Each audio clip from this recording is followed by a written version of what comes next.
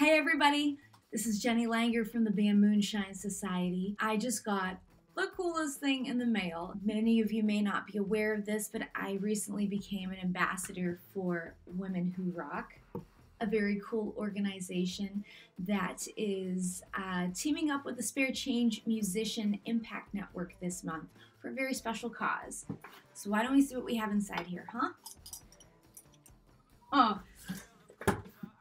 this might be the best looking tip jar I've ever seen. Can you see this?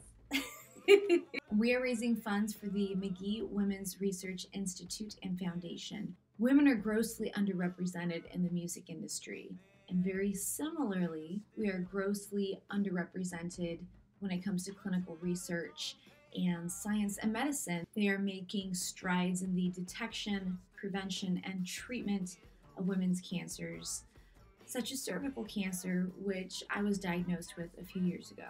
And I was very lucky. My doctor was super diligent about making sure that I had multiple follow ups when I really had no family history or reason to think that I could develop cancer at such a young age.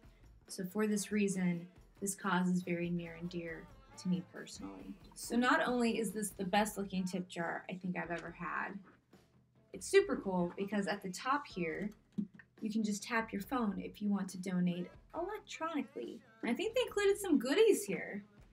How do I open this? Here we go. We got a coffee mug.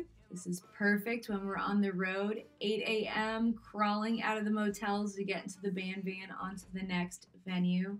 Love it. Thank you, Women Who Rock. Ooh, yes. A Gibson guitar strap. Thank you, thank you, thank you. We're not done. 50 Gibson standard guitar picks and a sassy pin. And a sassy pen that matches. So, the power to make a difference in women's lives all over the world is in our hands. Please join me this next month at my live gigs and here online as we raise funds for this amazing initiative.